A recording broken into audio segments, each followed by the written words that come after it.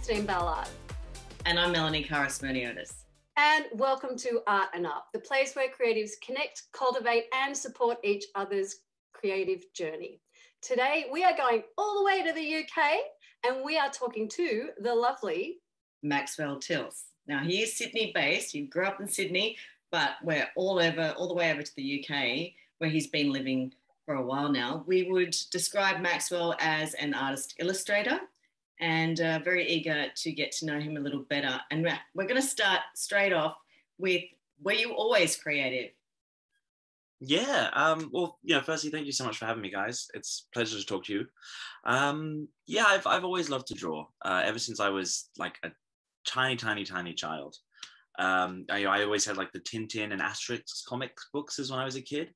Uh, so it was always like old Franco-Belgian styles of art that really kind of got me interested as a boy and got me into like drawing. So I would just sit and kind of redraw them or make my own little comics for my friends in primary school. It's always something that I've had in me, and yeah, something that I think I always will.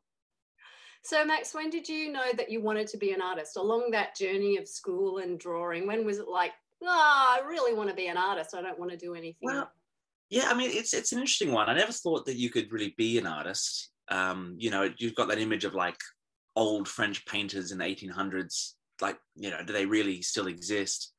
Um, and I, I guess you know when you're when you're in school, you get that like confirmation from your peers. Like if if you become quite good at something, you become known for being good at that thing. Like if you're really good at football, oh, you know, Johnny's really good at kicking the ball. And for me, that was drawing. So I became like the drawing arty kid. So it was mm. almost like that was the slot that I fitted into back in primary school.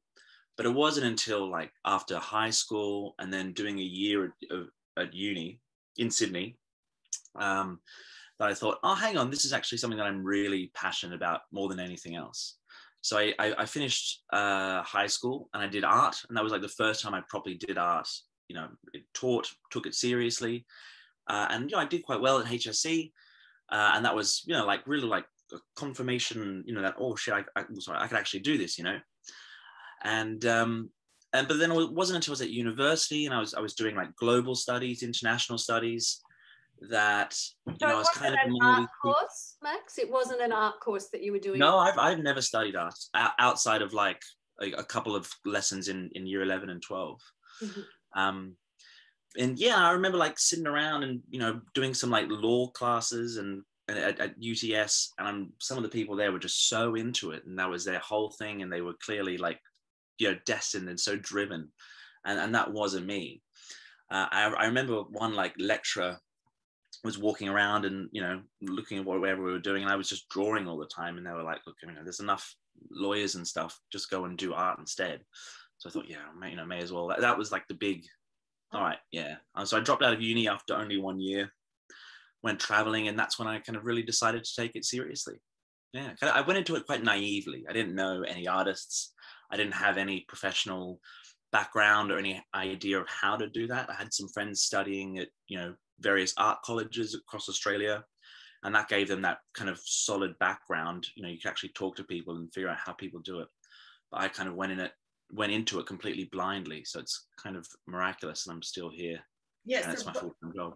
with that, at what point did it become a reality? This is going to be sustainable as a career? Yeah. Um, that's a good question. I think realistically, it was probably like the last two years. So I sort of I said I wanted to be an artist around like 2015. That was when I moved to the UK. Um, you know, I moved here. I was dating a, a girl, and it all just kind of made sense. I wanted an adventure, but I kind of needed to give my my family a better better excuse than just moving for a girl. So I said I'm going to you know try and move to become an artist. Um, but and amazingly, that kind of worked out. So you know, you're working in bars and restaurants. You know, you're, not making any money from your art, but very slowly, you know, you'll sell a drawing, you'll sell a painting, and then over the years, you go, oh, I've just kind of paid my whole month's rent, but you're still not. It's not sustainable. It's not. Um, you know, uh, uh, you, there's not a solid flow of income.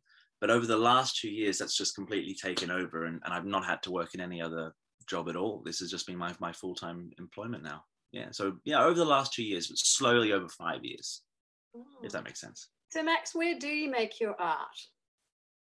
Um, where, well, where, where do I physically make my art, or yeah, where like? do you do it? I, I, I believe you do a lot of sketching on site.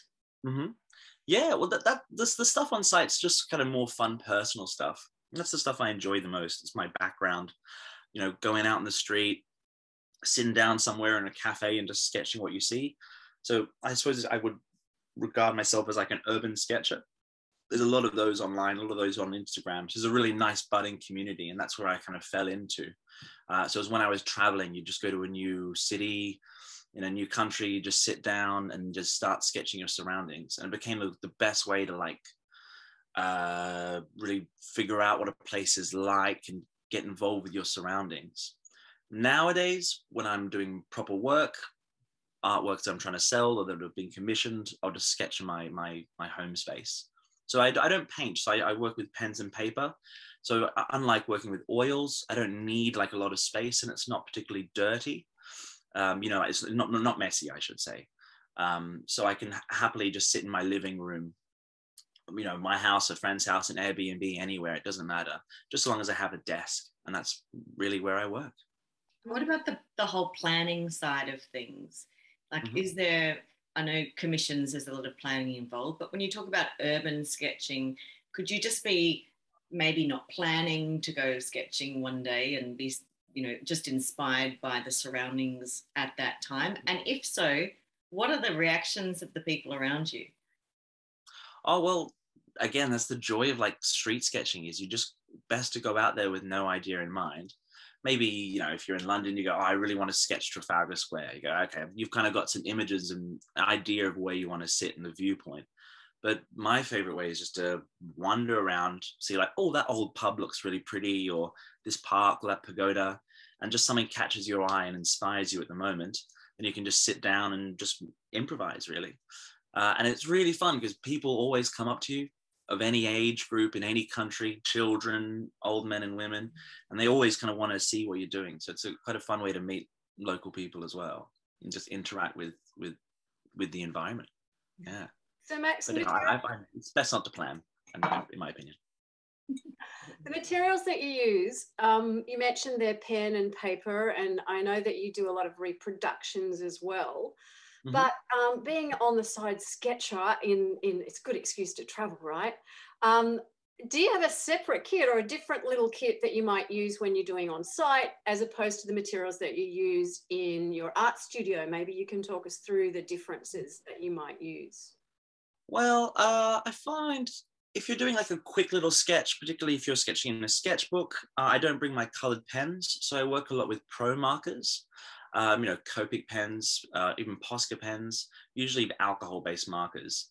Um, and they're quite portable. And as I said before, they're really like not messy, so they don't leak or bleed.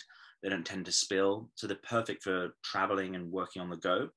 Naturally, if you're going to sketch the street, you can't bring hundred pens with you. So maybe I'll just have the colors in mind because I've worked with them for so long that I really know which colors I kind of want to use. So I'll take maybe five to six pens, take some of the small like fine liner pens and you can just carry them around in a satchel with your sketchbook or some paper. Uh, and it's the same materials I use when I'm working from home in my studio. Uh, it's just I have a much more refined, smaller color scheme that I'm going to work with. Uh, obviously, you know, bring a ruler and a pencil and eraser and all that business. But um, yeah, I think when you're going out and sketching on the street, you just have to have a little bit more of an idea of what colors you want to take because you just can't take them all, obviously. I guess that's why I want to get into watercolor painting because it seems quite compact. You can bring those palettes and, and brushes with you, and it seems quite quite perfect for on the go. Pen and wash is quite popular, yes. So you slip in your watercolor and then your waterproof pens go over the top. And it's it like you said, it's very portable.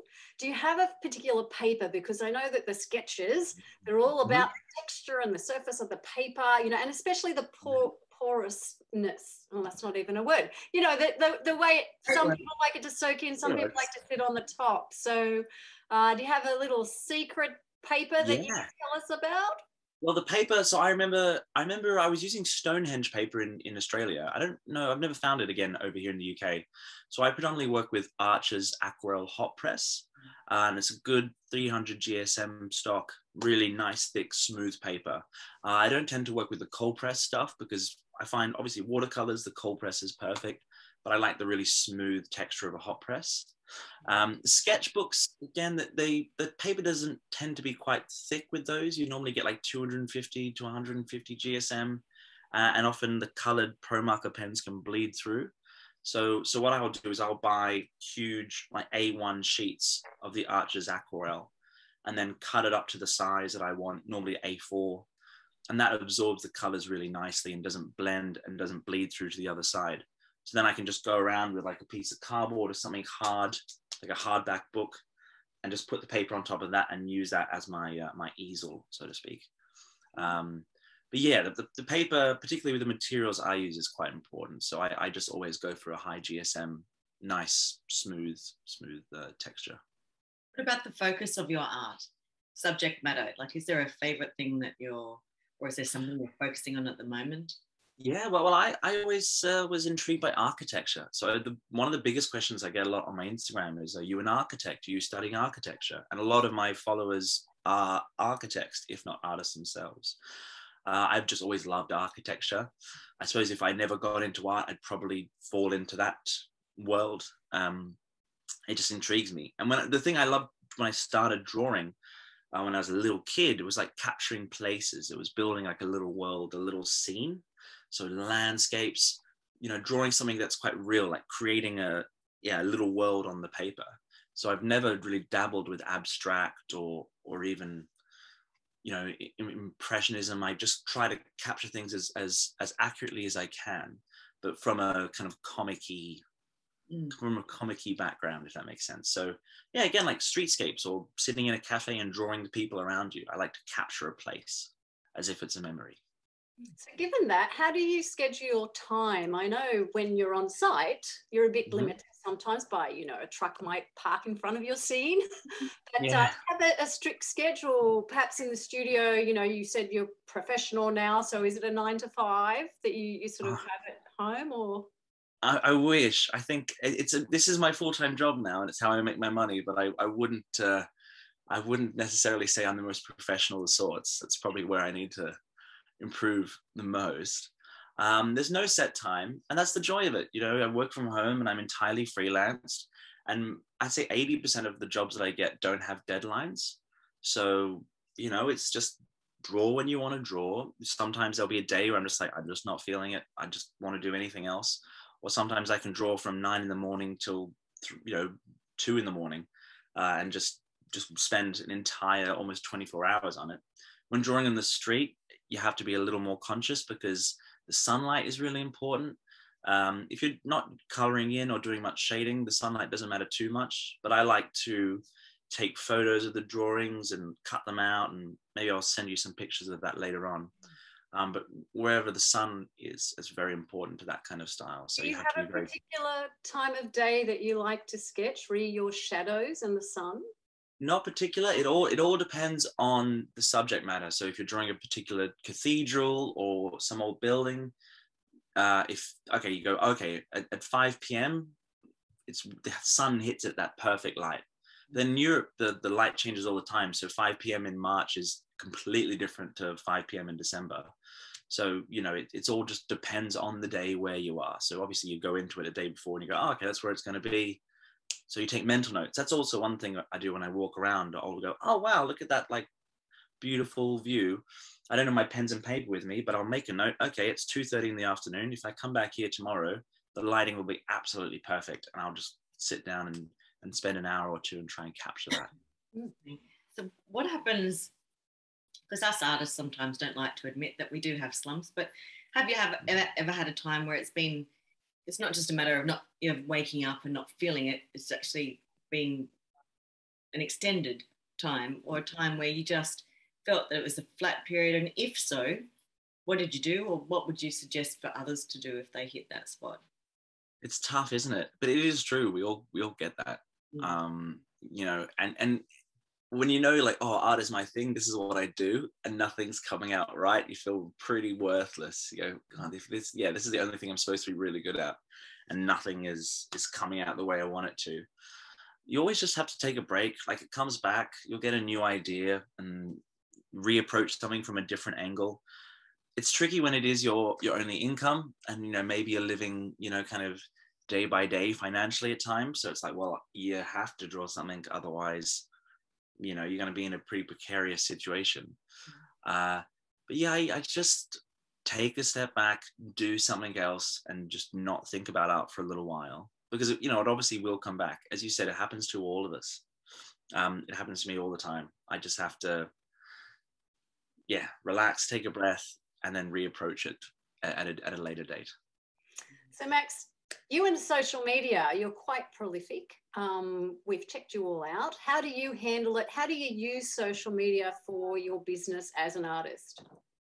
Well, that's a that's a really good question. Um, and going back for what I said at the start of the interview, going into the whole art world um, when I had left university, I didn't know anything about it.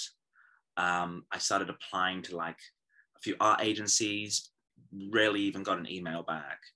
Um, uh, it was through social media um, that's where I found my kind of foot into the industry, and that's how I've turned it into a career. Um, I mean, in, Instagram's fantastic. At first, I was reluctant to get one, but my girlfriend at the time was like, "No, no, no, you got to get an Instagram." So. And that's just proven to be like really, really helpful. Not as a tool only to like meet other artists and collaborate, but just it's like a free online gallery. Um, and so that's how I, I sell my artwork basically. I'm not part of any other galleries. Uh, it, I just simply post what I what I have for sale, or put it all up on Instagram, and then people from all over the world, predominantly the states and Canada, uh, will just be like, "Yep, I'd love it. Send over some money on PayPal, and I'll just post it away." And that's uh, that's the week's that's the week's income. Yeah, so it, it's really important. Yeah, a tool for artists, Instagram. Again, not not even if you want to sell, but just if you want to like pick up and, and trade tricks with other with other creators. Like it's uh, I, I, can't stress enough how important it is. And you know it, i've been on there for like five or six years. So you know it, it's it's been a very slow gradual build. Do you have a now plan for it? Like when you do your instagram do you just post as you go or do you organize what you're going to post or no, no, I just I try to I try to post like once every two days, but then that's not realistic because then I also don't want to post stuff that I'm not proud of uh, that I don't think is is presentable. Um, you know, going back to the previous question, it's like we have times where just nothing comes out right. Mm-hmm. So in those times, I just won't post anything. You got to try and like keep people engaged and post little stories and questionnaires and things like that. Um, and you know, I, I could go into more detail about the whole Instagram side of stuff, but it gets a bit you know technical and boring. But um, yeah, I mean, you don't need to plan too heavily. Just try and post semi regularly, because um, that way it just keeps keeps the eyes there and just keeps people engaged. But uh, what's your? Yeah, yeah. Sounds like Instagram is a, a positive tool, and it is a great tool for mm-hmm. collaboration, no doubt, and uh, and for sales and whatnot. But what's the most challenging thing about being an artist illustrator? Uh, well, definitely there's the the lack of for me the lack of financial stability. Um, it's all good now, but for for for many years it was it was a real struggle. Um, especially living in London, like I, I should have lived somewhere much, you know, more affordable. Mm. Um, it's that it's that having no like you know even if you can you can make you know a, a, bit of money or whatever but then to have like no real like paycheck and no real promise of like there's there's no other job after this. You just come job by job. And you just have to hope someone commissions something or something sells because sometimes you'll you'll make all these drawings and you're really proud of them. You put them out there and you'll be like oh okay so i'll sell that for this i'll sell it for that and that should be next month's rent. I'll be good. And then nothing sells. And you just sat there being like oh shit what happened? What did i do wrong that that to me is the hardest part especially when your your best friends and peers have got like proper jobs and they're you know primary school teachers and lawyers and you know they they do real real things you know. Um to me that's the hardest part. Um the, the creative side it's always just come naturally you know. I, I don't get this is why I, I i love doing what i do. It doesn't frustrate me. Um it's just you know if we could live in a world where where you didn't need money then that'd be great but we don't so. So that sounds like Max, you just explained to us what the best bit about being an artist was. You just get to do it, right? What's you just get to do it. Yeah, I mean, uh, again, there's something amazing about doing what you love, and everyone loves something. Hopefully, and if they can get to work in that industry that they're so passionate about, then that's incredible. Um, but for me as an artist, it's the freedom and it's the ability to move around. Um, as I said a bit earlier, like hopefully on Saturday or Sunday, I'm going to go to Bosnia and don't know what's there. I'm just going to go live there for a few months and try and travel around a bit. And I can do that because if I've got a postal service, just any old postal service, I can pack up the drawings and post them away and make an income. Mm-hmm. Yeah, it's, it's it, it just feels like I've got complete freedom in my life, which Yeah. is wonderful. Which answers the question, really. The freedom, the best part mm-hmm. about being an artist illustrator. And, and it does sound really exciting. Bosnia sounds great. And so we'll look forward to seeing all of this fresh new work based on the new adventure. Oh, cool. Well, I- we'll see if I get there. You know, I have to get all my, my COVID tests, so who knows? I might I might just be stuck here. Yes, the world we live in right now. But it sounds really hopeful and exciting. And if you don't make it to Bosnia, we'll sure we'll be sure to see you somewhere else illustrating the surroundings and um, dazzling us with your amazing skill because it, it really is skill skillful your work. Oh, thank you. I mean, yeah, it, it's just great. It's great talking to you guys. It's really great to kind of converse with other artists. That's what that's one thing actually. I kind of I kind of regret about not going to any art schools. Um, it's just like you don't, you never like. It would have been great to like kind of develop as an artist with with peers. That's quite cool. I've got some friends who went to art classes, and they they kind of they kind of know all the people in the scene and stuff, and it's really really lovely in that regard. So that's why I've kind of turned to Instagrams where I can meet my my artist buddies.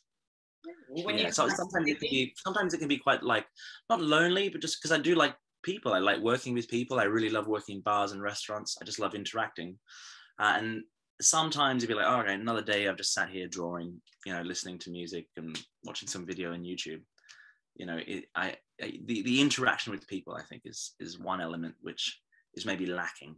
In, Well, Max, I think that's why we started this because every we all feel the same way. We did have this illusion that if you went to art school, that everyone would be artists and we all be great and fun together, and we worked out that that's not it. You know, so that's why hopefully things like this can connect people to get to know you, and we can understand that we all talk the same language, but it's a language that everyone says sort of differently. I think, and Mm. and you know, art's a great language. It's an international language, isn't it? So I think that people can find joy and happiness through your travels. Even if, if in australia we can't travel anywhere we can travel in your pictures because you show us the world in a, a beautiful way uh, a linear and it's bright and fresh. And so everyone should go and check out max's we'll put the details up. Mhm. um, check out all his connections. As he said you can only see him on instagram but that's how we connect. It's very easy and the postal service still works. So we all uh, going to check you out, and we, we better let you get on and uh, pack your bags then, maybe. Oh, yeah, I probably should start thinking about that. Good idea. Well, ne- when you next travel to Sydney, we'll all um have to get the art yeah, together. I'd love that. I, I miss I miss Sydney so much. It'd be good to go back home. Yeah, Mm. we'll look forward to it. So take care, and um, we'll catch you when you're in town. Fantastic. It's been a real pleasure. Thank you guys. Thank you, Lovely Matt. to meet you. It's our pleasure. Thank you.